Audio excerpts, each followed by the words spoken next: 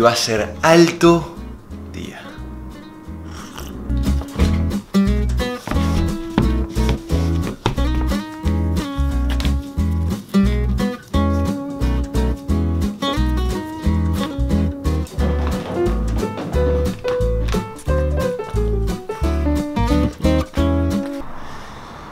Ok, vamos a empezar con una corrida ahora. El sol está pegando excelente. El CAT viene bastante bien dentro de todo. Este, las primeras semana y media, semana y media fue bastante rápido de esperar cuando empezamos un CAT. Y ahora recién me estoy empezando a estancar un poquito, así que dentro de muy poco, unos días, seguramente a la primera modificación más, un poquito más importante. Y eso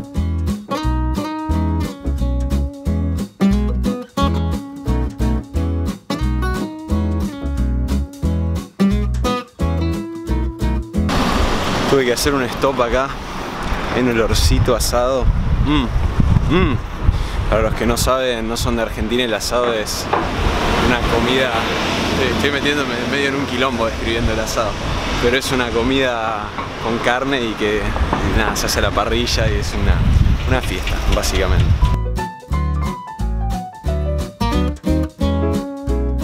Así que tuve que parar, no pude seguir tratando porque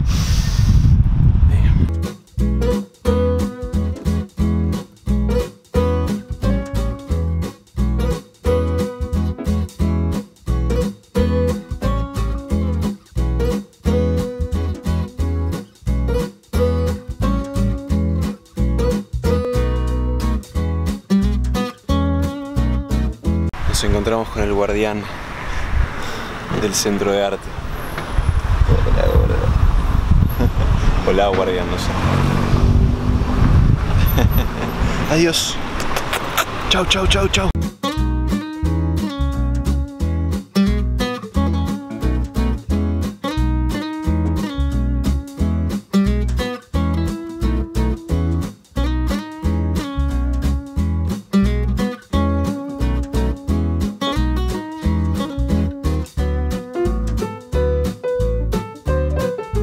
Terminada la corrida de hoy.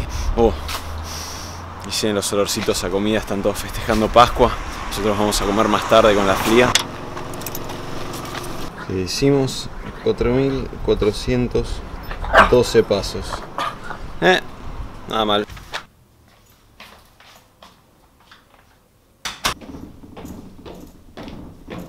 ¿Cómo empezar? Es una muy buena pregunta. Hoy vamos a hablar exactamente qué es lo que tenés que hacer para empezar tu periodo de definición. Por eso venimos a los corteles. Así que, let's fucking go. Para empezar, las bases van a ser tu porcentaje de grasa corporal y eso te va a dar el punto de partida para después decir, ok, según mi porcentaje de grasa corporal, ¿qué es lo que me convendría hacer? ¿Qué tendría que estar haciendo para empezar este periodo de definición? Y nos vamos a enfocar en cuatro aspectos. El entrenamiento de fuerza, el entrenamiento aeróbico, la alimentación y los suplementos. Situación número uno, básicamente te estás viendo así y es de 30 a 40% de grasa corporal. Lo más importante que tienes que tener en cuenta de esta situación es que no, no tardaste poco tiempo en llegar a esto.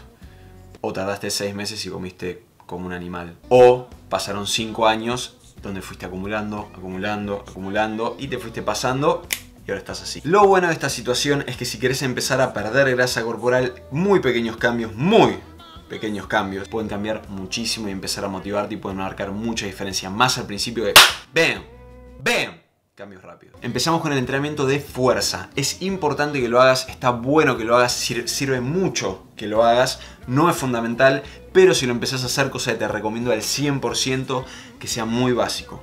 Poleas, máquinas, mancuernas muy livianas, no quieras hacer ejercicios compuestos y hacerlo con supervisión de un profesional. Esto es muy importante porque al tener peso elevado, cualquier ejercicio que te comprometa o cualquier ejercicio que sea más complejo y comprometa tus, articulaciones, tus rodillas, tus, este, tu espalda, tu cintura, etcétera, puede ponerte en riesgo, te puedes lastimar. Por eso, sentadito, poleitas, puedes hacer un poquito de bíceps, sentadillas Yeah. Podés hacer preferente una prensa, por ejemplo, que estás parado y empujas, ven, ven, el peso y nada más. Alimentación, pequeños cambios también. Van a hacer mucha diferencia. Esto es lo que más diferencia va a hacer y es lo que más te tenés que enfocar, es la alimentación. Pequeños cambios, una barra de chocolate, la sacás, pones una fruta, un solo cambio por una semana. Ven, nada más. Podemos hablar más en detalle qué otras cosas puedes hacer, pero lo más importante es eso, pequeñas cositas, cambiar coca común o gaseosas común por una gaseosa light. Esas pequeñas cositas van a empezar a hacer, ven, que la bola se mueva y van a hacer toda, toda, toda la diferencia. Entrenamiento aeróbico, muy importante también, no solo para empezar a bajar de peso, que va a ayudar mucho, vas a estar gastando calorías, pero también para tu salud, para tu sistema circulatorio, tu sistema respiratorio, es muy importante que lo empieces a hacer básico. 10, 15, 20 minutos por día, ven, todos los días, auriculares, te vas a caminar. Suplementación, no es para nada necesario la suplementación en este momento. Pensar los suplementos básicamente como una persona que empezó el tenis, nunca le pegó una pelotita y tiene todas las raquetitas y el conjunto y todo. La raqueta de Federer no hacer diferencia. A Federer le puede hacer diferencia a esa persona no. Es lo mismo con los suplementos. Suplementos ahora, olvídalo. No es necesario. Vas a ver muchísimo progreso enfocándote con esas cosas que hablamos antes. Situación número 2. Básicamente te ves así, es 20 a 30% de grasa corporal, muy similar a la situación anterior, más que nada con la alimentación, pequeños cambios van a hacer mucha diferencia. Podés empezar a poner proteína en polvo por una cuestión más que nada de consistencia de meter la proteína suficiente, pero es un extra que no es para nada necesario, no te va a hacer ninguna diferencia si estás comiendo la proteína suficiente de otras fuentes, así que consistencia, pequeños cambios, como decíamos, cambiar una gaseosa light, una gaseosa común por una light, dejar frituras o dejar alguna fritura, alguna comida en particular que quizá todas las noches estás clavando, no sé, una barra así de chocolate con 700 calorías, sácala.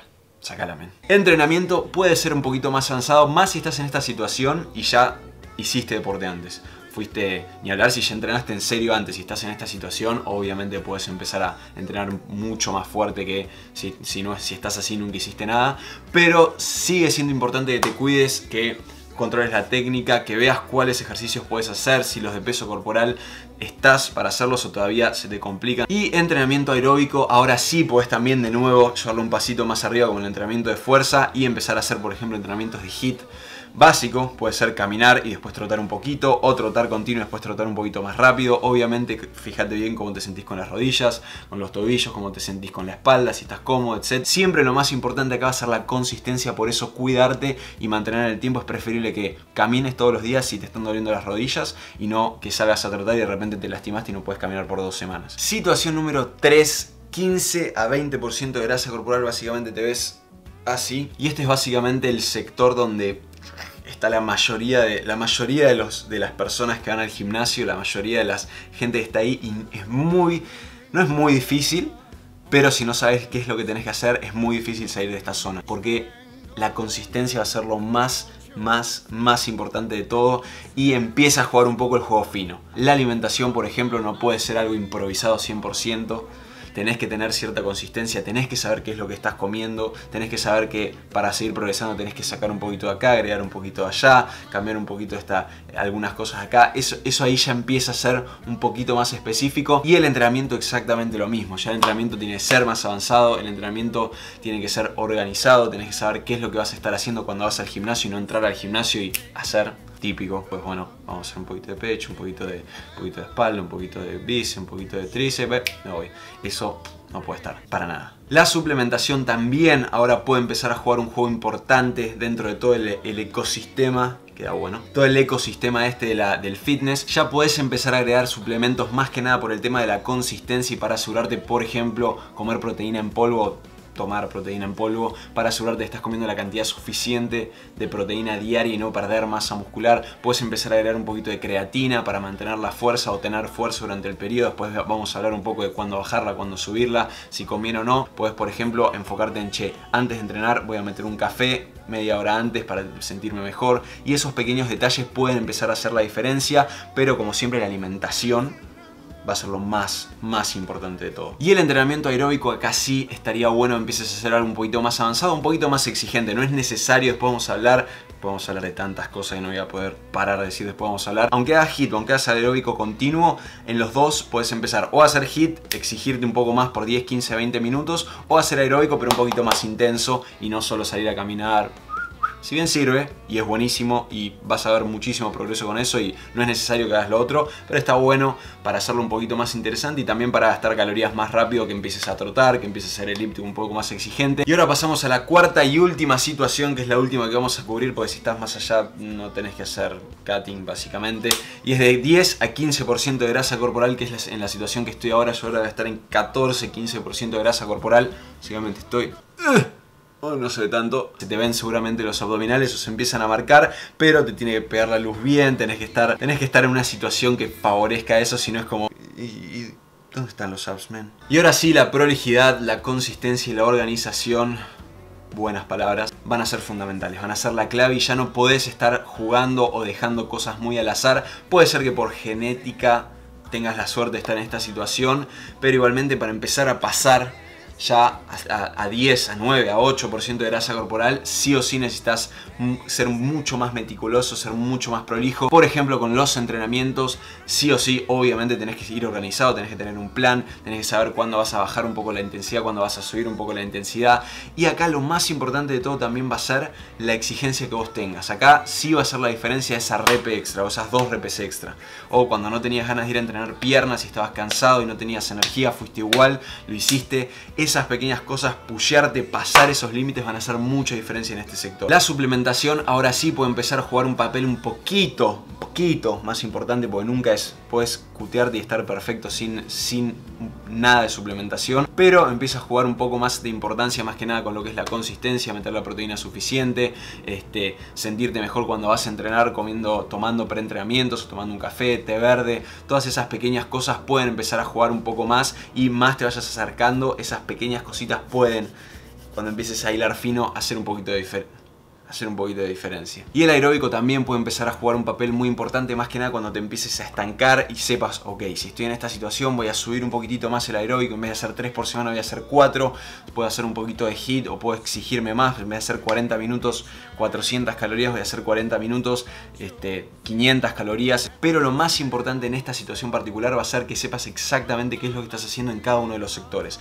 cuánto estás comiendo, cuánto estás entrenando y de qué manera, cómo es tu split, qué es lo que estás haciendo en los entrenamientos, cuánto estás comiendo, estás comiendo ya lo dije, ¿no? ¿Qué suplementos estás tomando y cuánto aeróbico estás haciendo? Y eso va a ser fundamental para que dentro de esos cuatro pilares digas, ok, esta es mi situación así, ¿qué puedo hacer? ¿Qué puedo cambiar de acá? Para seguir progresando cuando te estanques. Por eso es muy importante que sepas exactamente qué es lo que estás haciendo. Eso fue el video por hoy. Ojalá les haya servido, les haya gustado. Si fue así, fucking denle me gusta. Y tengan en cuenta todo lo que hablamos. Fíjense en qué situación están. Aplican las dos. Ustedes fueron viendo las dos porcentajes de grasa para mujeres y para hombres. La de las mujeres siempre es un poco más elevado, un poco más alto el porcentaje de grasa. Por ser mujeres tienen diferente acumulación de grasa, así que tengan en cuenta eso, empiecen a tomar acción o empiecen por lo menos a saber dónde están y saber qué es lo que tienen que hacer. Y después en el próximo video sí vamos a hablar mucho más en detalle qué es lo que tienen que estar haciendo específicamente y qué pueden hacer con la comida, qué pueden hacer con el entrenamiento, mucho más en detalle. Esto fue todo, esto es Wopak, nos estamos viendo la próxima. Ay, me dejé el batido de proteína, la puta madre. Fuck. should hurt.